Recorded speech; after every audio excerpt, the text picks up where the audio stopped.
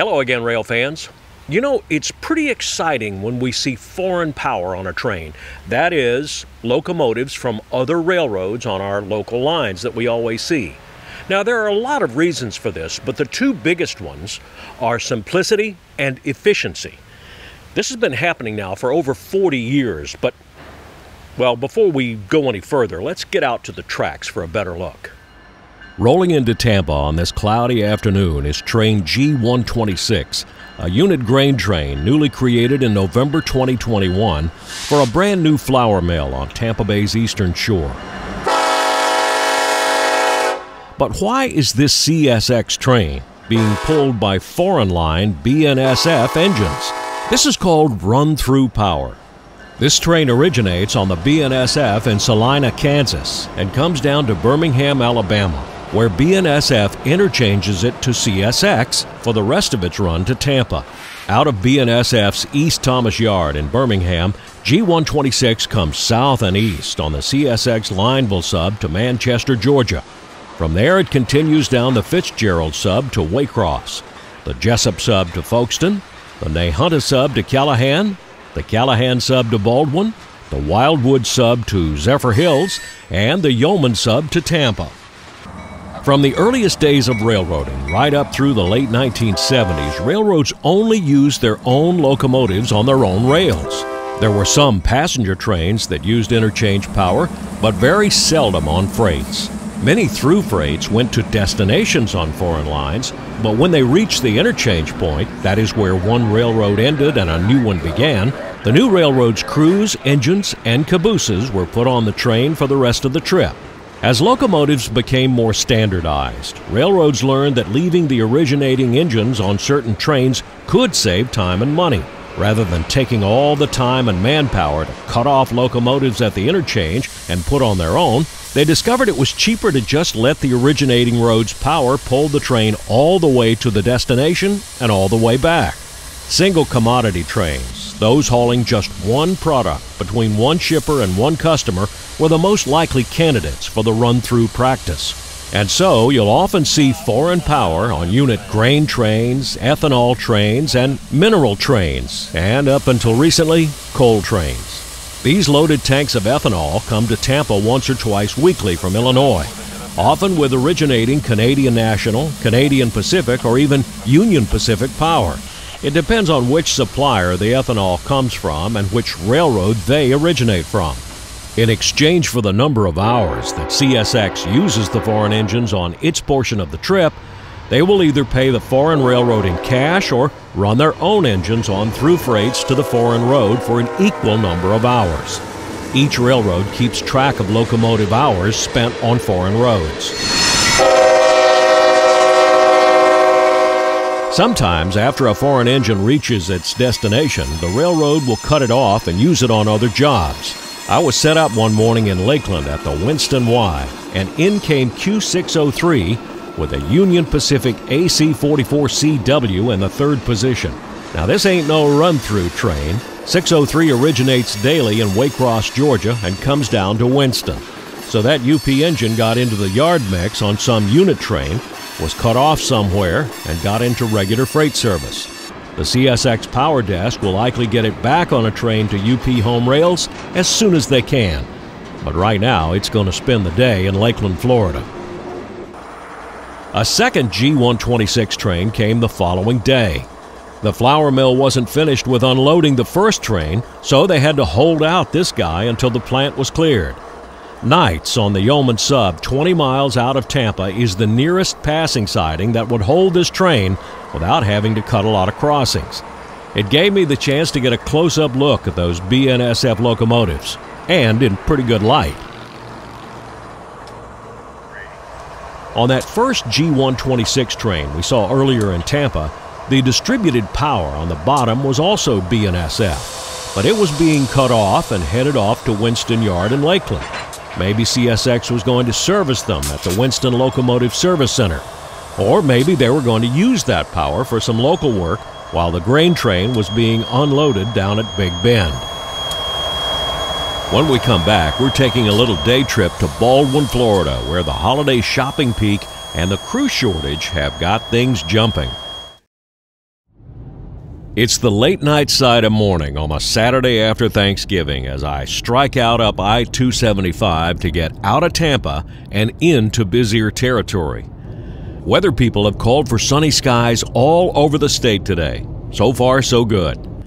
On to State Road 52 toward Dade City and the S Line, and the bonus of being up this early becomes apparent.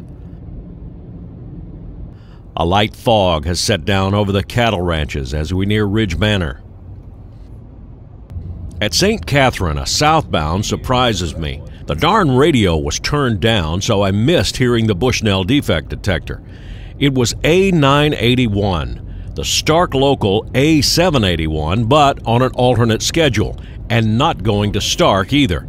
He had made a beeline out of Baldwin this morning, straight for Winston Yard at Lakeland. He was sizable too, 680 axles. This was a special train. The sun was high when I stopped at Lawtey to check out their old Seaboard Airline depot. I've been through here more than a hundred times and never stopped to see it. Mike Robbins grabbed a picture of the depot when it sat along the Seaboard main line next to the iconic side by side signals that marked downtown Lawtey forever. Threatened with a move it or lose it order from CSX, the city of Lawtey moved the depot a half block over to its property on County Road 200A also of interest to me was the road marker on the street. This was the Florida State road marker design for decades. Counties took over maintenance of many secondary roads in the 70s, and thus the county sticker at the bottom and a faded C covering the S. Have I ever mentioned that I like signs? As I neared Baldwin, I got a tip from railfan Ryan Stokes, who was there. The Florida Gulf and Atlantic had a train preparing to depart going west.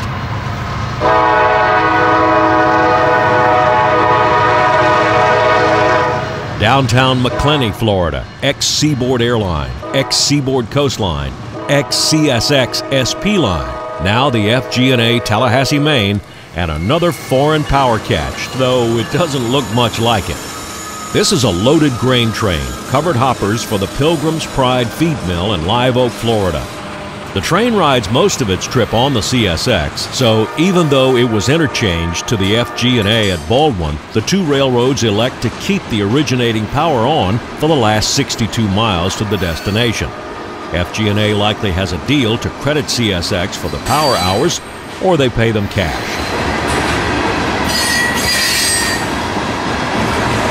After that, I drifted back east the nine miles to Baldwin to see something I'd heard about the day before. Christian Johnson posted a drone picture on the Florida Railfan Facebook group, a shot that stunned many of us. CSX had removed the railroad crossing that marked the town of Baldwin for 161 years. For the first time since 1860, Dr. Abel Seymour Baldwin's Florida Atlantic and Gulf Central Railroad, now the SP line, no longer crosses Senator David Yulee's Florida Railroad, now the Wildwood and Callahan subs of the S line. No doubt a cost saving move by CSX, as the diamond was hardly, if ever, used anymore.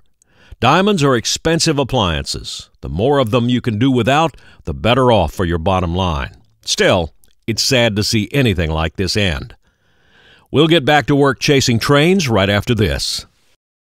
Bill. Under four is will come by there, Pickle. Uh, under four, I'll, I'll catch it when you get here. Three and a half miles south of Baldwin Yard is Maxville. Ryan Stokes and I shot down here to catch Q441. The conductor got a ride down here after they had tripled out their train. The engineer is now slowing to less than 4 miles per hour, a speed required by the rules for safe boarding. And Mr. Conductor steps aboard. Up and clear, uh, 3124. Four forty-one is better than thirteen thousand feet today.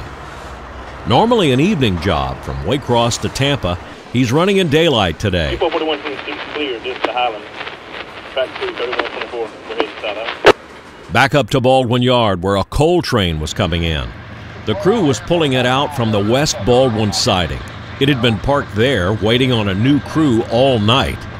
NO40 is an as needed coal train out of Oaktown, Indiana, for Orlando's Stanton Power Plant. This crew will take it as far as Stoke Siding, just north of Lakeland, where a local crew will take it on as 0800 to the power plant.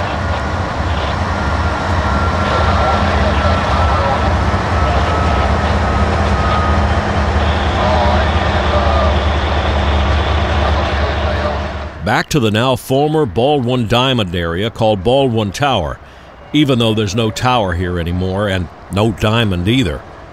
Inbound was Q203, loaded auto racks out of Louisville, Kentucky. The yardmaster had held him out for most of an hour while they made some room for him in the yard. Baldwin has been almost full all day. 203 would break up his train into sections and back them into several yard tracks for other trains to pick up, including tomorrow's 441 for Tampa, 453 for Palm Center, and 455 for Orlando. This is the practice called block swapping, and old Baldwin Yard has proven its value in making it happen. Without the diamond here, the neighbors to the southeast should be pretty happy. No more hammering train wheels at all hours of the day and night. The shadows were getting longer now and the temperature falling, so I broke off and headed south. The first stop was in Starke at Wanee Junction.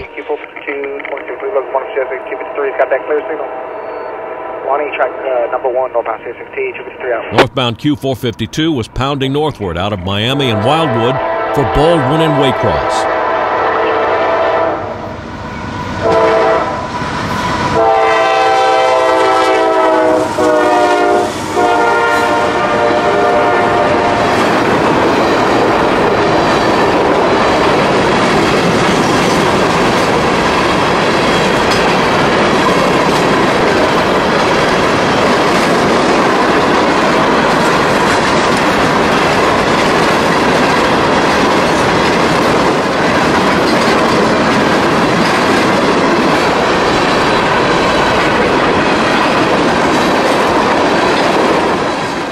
Once in a while, a soft spot will illustrate just how heavy these machines are.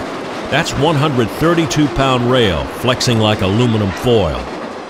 After that, I moved on south, and at Waldo, I spotted something you don't see that often anymore a single car in a line side storage track. This is called a bad order. That's railroad jargon for equipment taken out of service for need of repair. This tank car may have a stuck brake, a bad axle hub, or an excessively flat wheel. The defect detector may have caught it, and the train crew limped it here to the first storage track available. CSX will send out a shop truck from either Starke or Baldwin to repair the car. The compressed springs on the trucks tell us this car is loaded, which probably will make this a higher priority repair. The load is apparently something called polyol. I, I don't know what that is. When it's fixed, one of the road freights will be assigned to stop here and pick it up. This old storage track is a little part of Florida's history. It's all that remains of the Florida Railroad's yard and its main line to Gainesville and Cedar Key. While not even a spur track anymore, the track is still earning its keep as an emergency lodge for bad orders. Now, of course, this isn't the original track or ties. Those have probably been replaced several dozen times in the decades since the Florida Railroad days. Two weeks earlier, I was searching for foreign power and found none. But I did stop at a good place for lunch Steph's Southern Soul Restaurant in Dade City. I had a kind of seafood platter with a crab cake, fried shrimp, and catfish fried in cornmeal breading, mac and cheese, black eyed peas, and hush puppies on the side. I also had a piece of sweet potato pie for dessert. Fantastic! Steph's is just a block west of the tracks at MLK Boulevard and 5th Street in Dade City. Now, to repeat just one more time, when we say foreign power, we mean locomotives from other railroads here in the country, not locomotives from foreign countries. Just to clear that one up. Foreign power is considered a worthwhile catch by most rail fans. It's something new, it's something different. I get email from folks out west and telling me how excited they are when they see CSX locomotives on their BNSF and Union Pacific uh, lines there locally in their hometown. It's all in what's new, what's different, what's unusual. Now please hit the like button if you like this video. Subscribe to the channel if you haven't already done that. Write your comments in the comments section down below. I try to read them all. I try to reply to as many as I can. So please do that. So, until we see each other again somewhere out there on the high iron, this is Danny Harmon. Out.